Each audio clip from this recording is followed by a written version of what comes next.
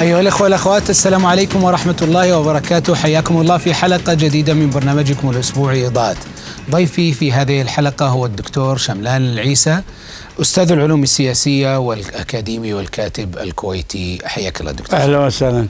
أه بقول لك أستاذ العلوم السياسية بجامعة الكويت بطبيعة الحال. أه سنتناول اليوم دكتور أكثر من قصة سنركز على مقالاتك تحديدا. فقد كتبت في جريدة ال- الوطن الكويتية في 8 أبريل 2010 أه مقالا بعنوان الأوقاف ومهزلة الوسطية تعتبر فيه أن الشؤون الإسلامية غير مؤهلة لتكون رائدة الوسطية وأن المهيأ لهذا الدور هي وزارة التربية آه، أو الإعلام أو المجلس الوطني آه، للثقافة والعلوم. الشؤون الإسلامية تمثل السلطة الأخلاقية والدينية وهي ذات صلة مباشرة بنشر الوسطية. فهي بما تكون حسب وجهة نظرك آه، جزء من المشكلة لكنها ليست جزء من الحل. هل الحل في وزارة التربية اللي أيضا أنت تهاجمها وتعتبر أنها متطرفة؟ لا ليس الحل في وزارة التربية. هي المقالة قصت فيها قضية الوسطية إشكالية عندنا فيها في الكويت. بدأت مشكلة الوسطية لما بدأت العمليات الإرهابية قبل عدة سنوات. ثلاث أربع سنوات. في شيء إشكالية؟ الكويت مناهج تربية قاعد تفرخ لنا إرهابيين. إرهابيين صدروا لأفغانستان والشيشان وأخيرا باكستان أخيرا العراق وين وين مشكلة في مشاكل في مناهج التربية؟ وشو اللي تعترض عليه دكتور نوعية؟ المناهج. التركيز أكثر من اللازم على المناهج الدينية والاجتماعية اللي زج الدين في كل القضايا الدين ممكن يفرخ الإرهاب؟ الدين حسب مفهوم الدين اللي يطرح. إذا أنا نحن درسنا وزارة التربية إحنا شباب الدين مبسط وسلس ووسطي ومعتدل. الآن بحسب بسبب انجراف وزارة الأوقاف وزارة الدولة عموما بالكويت إلى إلى التيار الإسلامي السياسي أصبحت قضية التعليم والأوقاف وكثير من العداء حتى الثقافة أصبحت مسيسة إسلاميا. القضية ليست قضية إسلام ولا تصور المشكلة مع الإسلام. مشكلة على تفسير الإسلام وكيفية ممارسته وكيفية التعامل معه. مع أنك أنت دكتور تقول بأعلى صوتك كما في مقابلة في قناة العربية في بانوراما أنه نحن لا نريد تطبيق الشريعة الإسلامية. وقبل شوي تقول ما عندي مشكلة مع الإسلام الإسلام كله شريعة. من قال الإسلام كله إسلام يعني. لا لا الإسلام قضية الشريعة قضية تعد أنا لست مع الشريعة في تطبيقها في بلدي الكويت مم. والإشكالية مع الشريعة تلتزم أي مذهب ناخذ فيه أي مفهوم للشريعة في مذاهب عدة ومفاهيم متعددة هل المفهوم اللي ناخذه مفهوم المدني الوسطي اللي أشوفه أنا في مصر والمغرب وتونس. ولا المفهوم الجزيرة العربية ومفهوم الوسطية اللي يزعجك اللي هو تقوم فيه وزارة الأوقاف ما يعجبك لا أنا ما. خليتني أشرح دشيت قضايا ثانية. وزارة الأوقاف لما صار قضية الإرهاب وزارة الدولة قررت أنها تبدأ بق- تحاول تحل إشكالية الإرهاب والتطرف بالكويت. فلجأت إلى وزارة الأوقاف وهذا خطأ كبير. كلفوا ناس من الإخوان المسلمين ويعرفون مسبقا أن الوزارة إخوان مسلمين. فالغلطة الكبيرة ارتكبتها الدولة أن كلف أحد ال- أسباب الإرهابيين بالكويت.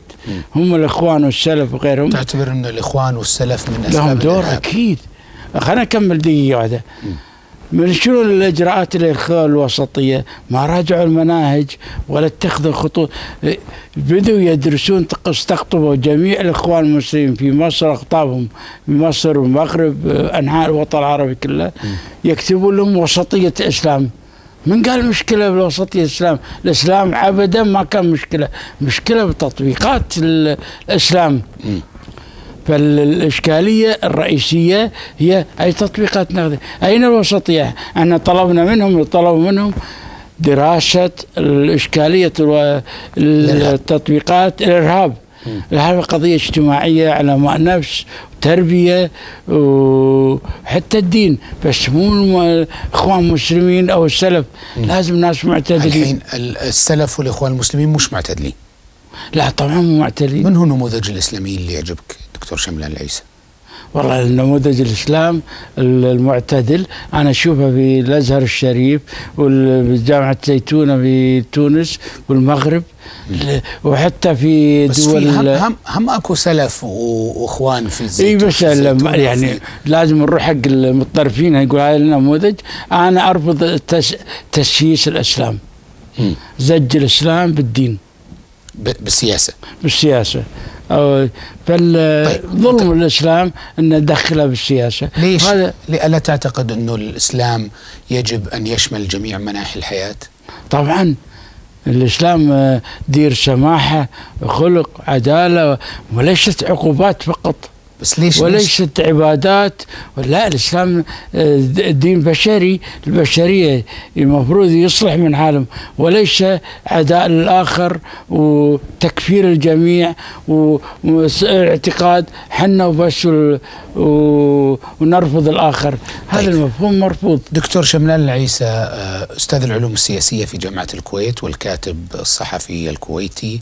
آه، أنت تقول بأنك ليبرالي خرج من تجارب عديدة مريت فيها. صح. مريت بتجربة آه، يعني عندما كنت في كنت بعثي في بدايتك إيه. وبعدين صرت مع جماعة مع جماعات فلسطينية.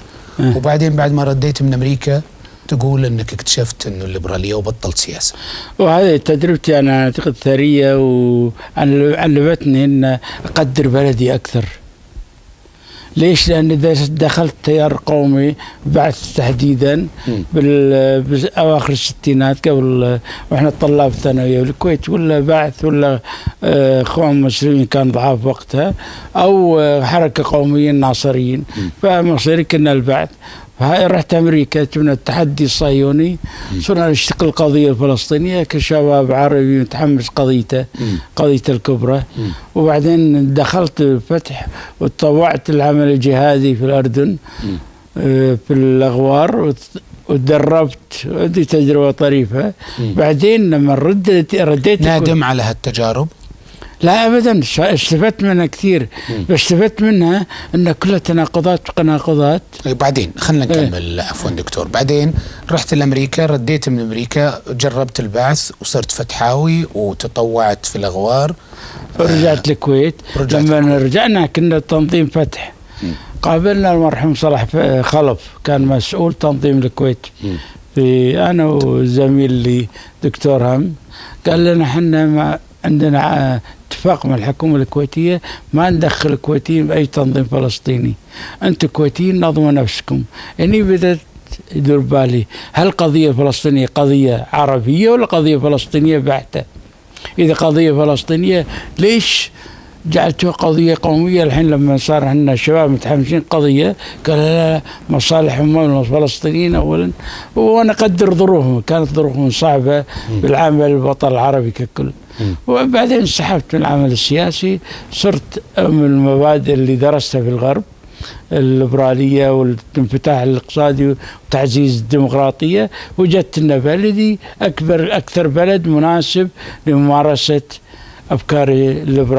مم. الوطنية. آه لكنك تقول آه دكتور إنه الكويتيين كانوا قبل خمسين سنة آه أكثر انفتاحا وأكثر آه بساطة وأكثر ليبرالية من الآن طبعا الكويتيين كان لأنهم على سجيتهم. مجتمع الكويتي مجتمع تجاري. مم. التجار بطبيعتهم منفتحين. وكان يعني منفتحين بشكل غير معقول. على الآخر. لأنهم كلهم عاشوا اعتماد كلي على الآخر سواء بالهند التاجر معه أو أفريقيا أو الدول العربية القريبة العراق أو السعودية وغيرها فكانوا دائما تجار فعقليتهم منفتحة. فلذلك من خلال المجتمع المدني الكويتي هم اللي بدوا حركة التعليم. والبلدية والمكتبة الأهلية كل حركات أنت تؤمن والمطالبة بالديمقراطية جاءت من التجار وليس الحكومة. الطبقة التجارية بالكويت تؤمن إيمان مطلق بالديمقراطية لماذا؟ لأنها كانت تدفع ضرائب للنظام النظام كان فقير ما له دخل ما ما في دخل له إلا. المعيشة كفاف عايشين أي، هذا قبل النفط. قبل النفط.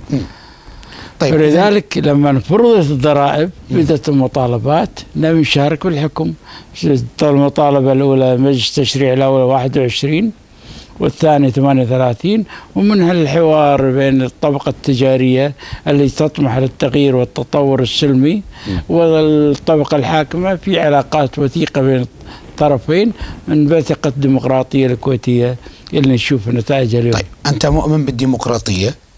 وتدافع عن الديمقراطية. وبعدين تقول ما نبي نطبق الشريعة الإسلامية بالكويت مع أنه معظم الشعب الكويتي يبي يطبق الشريعة. لماذا لا ترضخ للديمقراطية في هذه؟ لا لا مو أنت عممت قلت معظم. هذا الإسلام السياسي الذي وصل إلى مجلس مم. منذ وصوله وهو يحاول عن طريق محاولة تغيير. أنت وصلت المجلس آه، الأمة عن طريق الانتخاب. ضمن الدستور المدني الليبرالي أعتقد أنا الدستور المدني. أنت تحاول أول ما وصلت كإسلامي تغيير المادة الثانية من الدستور التي تقول الإسلام مصدر آه، دين الدولة والمصدر أحد المصادر الرئيسية للتشريع. يعني إسلام ودي قوانين مدنية. يعني قوانين رومانية.